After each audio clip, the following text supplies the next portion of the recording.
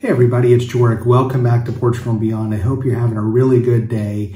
If you're returning, thank you so much for supporting me. I really appreciate it. If you're new, consider subscribing to get more information about Portugal, life, and European travel as we do it. Today I want to talk about Portugal and I want to get right to it on a train strike that's going to be happening this week at the making of this video.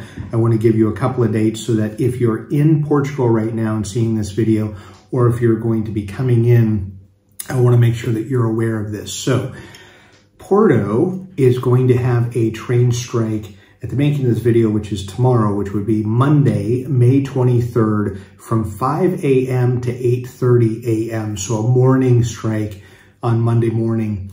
So within Porto, trains are probably not going to be running or they may only be running at, let's say, 10 or 20%. And then on Friday, May 27th, here in Lisbon, from 5 to 9 p.m., so evening, the Metropolitan trains are not going to be running. It doesn't mean 100% are going to be stalled, but it means that anywhere, most of them will not be running.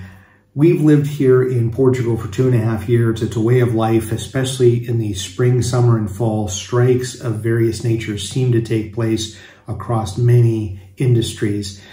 And the rail system seems to strike fairly often. So it's just a way of life here. Kind of have to get used to it if you are living in Portugal. But I want to make sure that you're aware of this. I'm going to try my best this year when I'm doing the channel to make sure I'm giving you updates on any type of public transportation strikes in Portugal. If there's any major ones going on in Europe that I am finding out about that might impact travel for you, I'm going to share those as well.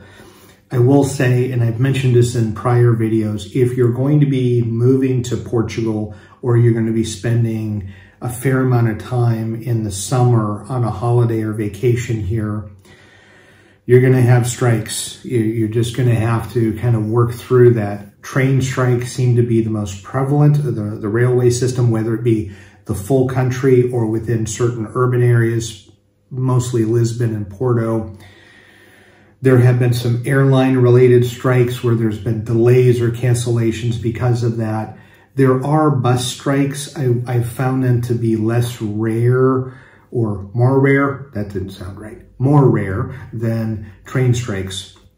So if you're going to look for a mode of transportation between bus and railway or train, I would probably elect to get bus tickets because there's a greater likelihood that that's going to happen without a cancellation as opposed to the railway or using a train. If you're just staying in Lisbon or Porto, whether it be this week or down the road, you can always taxi, Uber, or Bolt, or use your feet to get around.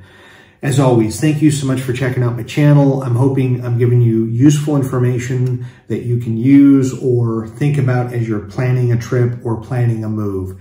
As always, thank you much for watching. Greatly appreciate you and enjoy your travels. Hey, thanks so much for watching the full video. If you get a chance, and if you're interested in reading some crazy workplace stories, please check out my two books, Magnet of Madness Volume 1 and Volume 2, both available on Amazon in ebook or softcover. If you want to make fun of me, there's plenty of stories where you can do that. If you want to make yourself feel better about the job that you're in, It'll make you feel better too. But uh, crazy stuff that happened over 30 years. You won't believe it until you read it. So thank you so much for watching. And if you get a chance, pick up a copy of one of these on Amazon. Thank you so much.